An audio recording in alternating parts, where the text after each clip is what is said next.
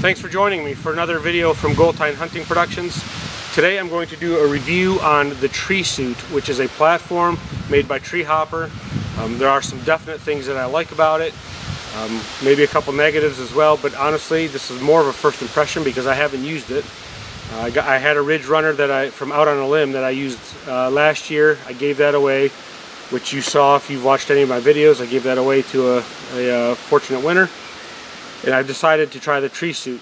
So, uh, it's not going to be an unboxing unfortunately. I, I pulled it out of the box to show my friends the uh, buckle system uh, because he has one and the buckle system to the tree how it straps to the tree is different than his. And so uh, I wanted to show him, but today is going to be an unbackpacking and uh, we'll get it up on the tree and, and we'll go through it and show you what it's like. I do want to say there are other reviews out there on the tree suit and I would encourage you to go look at them. One is Matt from Mad Hunts Adventures. He's got several great reviews on saddle hunting and all sorts of different uh, saddles and platforms. Uh, I know he's got a, another saddle video that's either just come out or about ready to come out on a bunch of different saddles. So I would go over to his channel and uh, take a look at that. It's uh, again Matt from Mad Hunts Adventures. He's got some really good uh, hunting info there and I think it'll be helpful. And again, this is one of the uh, reviews that he does. It's definitely better to get multiple opinions on it, but um, let's take a look and see what we got.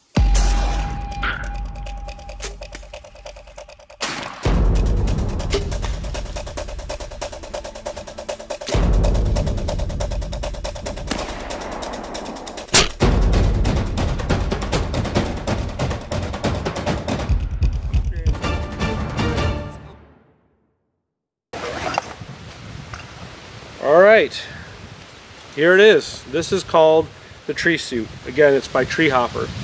And uh, sits on the tree like that. And uh, obviously the strap around there will go on there. The first thing I'll say, you know, it's hard to, I haven't had a bunch of different platforms, but I have, again, used the Ridge Runner. This one here is 14 inches wide. So the Ridge Runner was 16 inches wide, and what I would say about the Ridge Runner was it had more foot space um, based on how the shape was. So yes, this is 14 inches wide, which is pretty good, but it's not, there's not a full 14 inches front to back. As far as front to back, so from here to the front of this point, it's 10 and a half inches. So 14 side to side, which isn't terrible, 10 and a half inches front to back, which, which isn't terrible as well. I would assume that would probably change some based on the size of the tree. If you have a bigger tree, it's going to kind of span this gap here and you'll have a little bit more space, whereas a smaller tree, it's going to sit in a little bit more and you'll probably have a little bit less space um, than that. But I will say this about this, this thing is ridiculously light. It's, a, I think, a pound and 10 ounces is what they have on their website. So one pound, 10 ounces, the Ridge Runner that I had before, just in comparison, was I think 56 ounces, ounces, which is three pounds, eight ounces, if my math is correct. So this is way lighter. Um, it has these little legs here, which are what attach to the tree. It's going to go around the tree like that. And so um, they, they don't fold. They're stuck like that. But I've had it in my backpack, and honestly, I don't think it's that big of a deal. The fact that you can't fold them over or anything like that. Um, being the fact that it's a little smaller and light, it, it fits in there pretty well. The other thing, which I really like about it, is the buckle system. I don't know if you can see right here, but it actually has a cam buckle, which I'll show you in a second how it works. And then it has this guy here, and you'll notice right there, the cam buckle goes in there and that pops up. Once that pops up, the, the buckle cannot come out, which is obviously makes it more safe. So that I think is a real plus for it. I'll just show you real quick actually. Here's the uh, buckle piece and it's going to go in there. You're going to grab it like that and you're going to put it like that and then it goes inside. There you go. And it can't come out. Obviously in the morning when you're trying to be quiet you're not going to just want to put it in like that. It's going to make a lot of noise. You're going to want to do it you know fairly soft and again I, have this is basically my first time even touching it so um, I'll have to do a little bit of a figure that out myself but um, it's not that big of a deal. Actually right there was pretty quiet. So anyway, it has that cam buckle system. The other thing is, you know, you've got the strap and the, what you don't want is you don't want the strap falling off as you're trying to wrap it around the tree or, or slide it around and you know and it just come off. Here is the system that they have. You can see that right there. Basically what they do is they have this uh, Allen wrenched in here and they have it again over on this side. But basically that is tight and um, you can loosen it and adjust this and make this part of the strap longer if you wanted. I don't personally see that you would want to do that, but I guess you could if you wanted. But um, they have it so they tighten it so it doesn't slip through or slip around. Once you fasten that, that is good to go. So here's the system. Again, that's the, um, face of the platform. You can see that. That's the face of the platform. It's uh, powder coated. It's kind of got, it's gritty, so to help give you some, um, you know, traction so you don't slip. And um, it feels definitely solid on top. So let's get it on the tree and see what uh, see what it does. I will say this, as I was thinking about this, um, on the Ridge Runner and I know the uh, Predator platforms by Tethered, they have some adjusting adjusting screws or bolts that you can adjust it depending on the tree, whether the tree, you know, is slanted one way or the other. Um, the Predator actually, I think more so than even the Ridge Runner. Um, but this one does not have that. So um, you're going to have to take that account when picking a tree. This does not have a adjustable uh, level leveler to make it one way. Whatever your tree is, that's the way it's going to be. So I would say honestly that that's a bit of a negative, but for the price, um, you know, you can't have it all. This, I believe, ran $119, and if they give you a deal if you buy, you know, multiple ones, but this one, if you just buy one, I believe was $119 plus shipping. The Ridge Runner, I believe when I bought it was 149 maybe plus shipping. And I know the tethered uh, Predators and you know now all the new ones, the uh, the Cruzr platform, the Seeker I believe it's called, um, those are in the like 170 range plus shipping.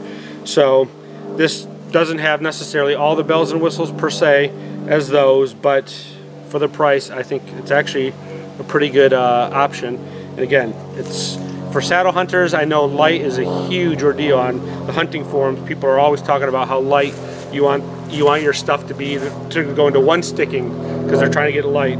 This here is super light. I mean, again, one pound, 10 ounces. You're not going to beat that, I don't think, for a platform.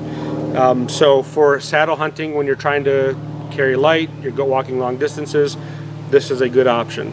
So let's get it on the tree and see how it works.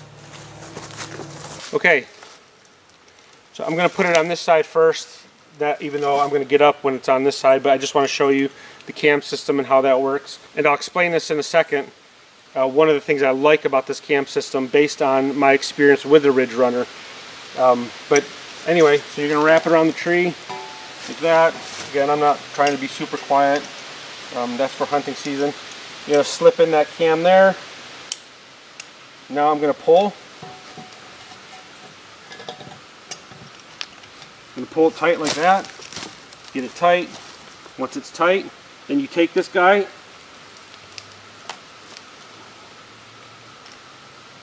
you gotta cam it over like that.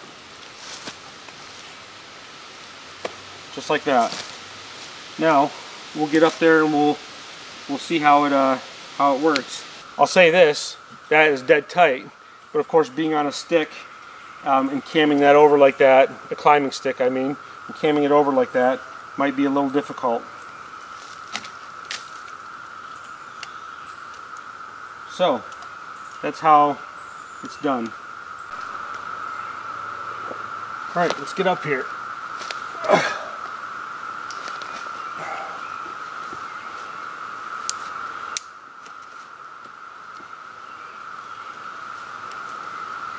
Usually my tether is going to be higher.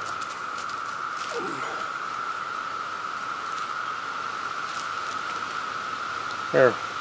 All right. As you can see, um, I'm on here. Honestly, there feels like plenty of room uh, to me for my boots. These are um, ones I'll be wearing most of the time. Maybe when it's really cold.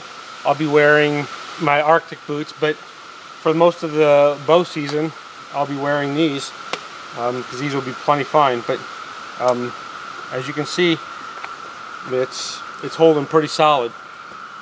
Pretty solid. Now, I know, um, again, Ridge Runner, some of those, they have these easy side pressure. Um, see here? I mean, you can see that's pretty, that's pretty tight. It's not going anywhere. Of course, the teeth on the back are pretty, uh, they're pretty good and they're really digging in. Again, if you get that strap tight, um, it'll dig in really well to the tree. But come over to this side, you can see um, that's great. I mean, that's really good. And honestly, there there's there's plenty of room on here. I, I, guess I was because I had the Ridge Runner that was 16 inches. I guess I expected this to be a little bit more, just feel a little more compact, and of course it is. But it doesn't really feel like that. Um,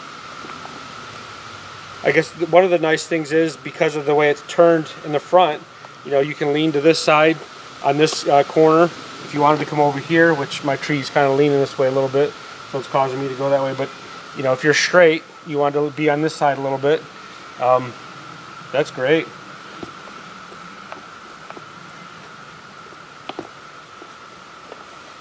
One of the issues that I had with the Ridge Runner was on trees where the bark is pretty thick, and this isn't that bad, but you know, you get one where the bark's thicker.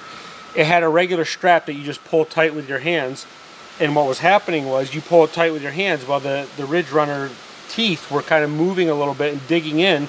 Well, then it kind of loosened the strap a little bit. The thing I like about this one is as you tighten it down with that cam, um, cam over strap, it actually kind of digs in already to the tree and makes it tight. The thing that you have to worry about, and, and this is a minus for this, with that cam over system, if you're not careful, the part of the cam over, it'll dig into this the piece of strap if you're not watching to make sure that that's in between the actual cam. Um, I actually did that on there. I don't think it's a big deal except because I caught it. But if I would have left it like that, it would have tore a hole into the strap. And I would have had to probably replace the strap. So that is something that you're going to have to um, watch. But as I'm standing on this, and again, it's, it's very tight, um, I'm saying that uh, it's, it's, it's really nice. I could see myself being comfortable on this, you know, quite a while. Now, here is one thing that um, I would say is a negative as well. On the other platforms, sometimes, you know, you could stand up sideways like this. Now, you can see I'm doing it. I'm standing up sideways, but I'm really tight to the tree. There's basically no there's no play. Now, if I had to, you know, if I had to turn and shoot, I could do it. Again, it, as long as it's flat or, or the angle's right, I can turn and shoot, you know, this way if I needed to, which is my weak side. So you can turn and shoot on your weak side if you have to. I mean, it's, it's not bad. It's not that bad. There's a little less room, I think. You know, there's a little less room than um, say the Ridge Runner and probably some of these other platforms. But I but you can do that. Um, if I needed to stand up here, you know. And last year, actually, the doe I shot last year was on my weak side, and um, I'm trying to think of how I how I did that. I think I turned this way. I'm pretty sure I turned this way and shot her. Yeah. I mean, I can I can shoot all the way around, you know, that way. Obviously, anything behind me, I can shoot. And um, I can also shoot, I can also shoot this way. So, I mean, I have, I do have 360 degree turn on it, but again, you just have to be, you, you probably have to be a little, just a little slower maybe in some of those turns because of the size of it. But you're also not paying $180 plus shipping or $170 plus shipping. This was 100. This was $50 cheaper um, plus shipping, and it was probably cheaper shipping because of how light it was. So what I would say is, as far as strengths, it's very light. It cams real tight to the tree. Um, there is, I would say, I wouldn't say this is a strength per se, but it's not a negative either. There feels like plenty of foot room, and again, you can move your feet around the side and, and put pressure on it, and it doesn't move. So that's a good thing. Um, and uh, it's easy to carry. The negatives, I would say, is again that strap when you can buckle it over. When you can buckle the strap over, you have to be careful that you don't dig into the strap. Um, so you just have to be careful of that. But in the morning, obviously, that's going to be something you're going to have to be a little more careful of. So that's kind of a negative. Um, the other negative I would say is that it doesn't um, have a leveling system at all. Uh, you know, so you are you're going to have to be a little more selective in the trees that you choose, or just be very uncomfortable, um, depending on how you put the uh, how you put the platform on the tree. So overall, I think it's a good platform. I would probably rate it, you know, seven, seven point five out of ten uh, which is pretty good. It's not phenomenal, but I would say it's pretty good. Now, again, maybe I'll do a another review when I come back to um, after using it for a year. But as of right now, with the limited experience I have uh, using this, and it being my first time, honestly, getting up on it and really, you know, messing around with it, I would say probably seven or seven point five. But um, I'm not disappointed. And uh, who knows? Maybe at the end of the season, I'll end up giving this one away too. But I really like the cam system, the buckle system. I think that's a great, I think that's a great uh, way to make sure that it gets real tight to the tree, and that's huge for you know these straps. You want them to be tight. All right, so there you have it, the tree suit from Tree Hopper. If you're in the market looking for a saddle platform, don't rule out the tree suit. I think it's a good, not great, but I think it's a good platform, um, and it's great for the budget. I'll tell you that and I think it'll work just fine. Again, remember what I said, I'm on a big tree, so there's extra space here because the way the teeth tighten to the tree. Um, on a smaller tree, you might have a little less room, but I still don't think it's going to be that big of a deal. But um, take a look at the tree suit from Tree Hopper. If you have any questions, feel free to leave them down in the comments below. I'll do my best to answer them. But um, if you would, hit the uh, like button on there and uh, hit the subscribe button if you haven't. I appreciate all the support and I definitely plan on bringing some more uh, reviews to you from different products that I use um, like the Cruzr XC which will be the, probably the next video. Um, my bow, broadheads that I use uh, things like that. And um, your support is greatly appreciated. Also more importantly uh, shoot on over to goltine.com that's G-O-L-T-I-N-E.com and take a look at the uh, plaques that I make for European mounts. Um, we got some pretty cool options there. Also got some apparel here, uh, t-shirts, hoodies in multiple colors, uh, hats, beanies, things like that. And uh, again, um, if you do, uh, every purchase that you do is greatly appreciated.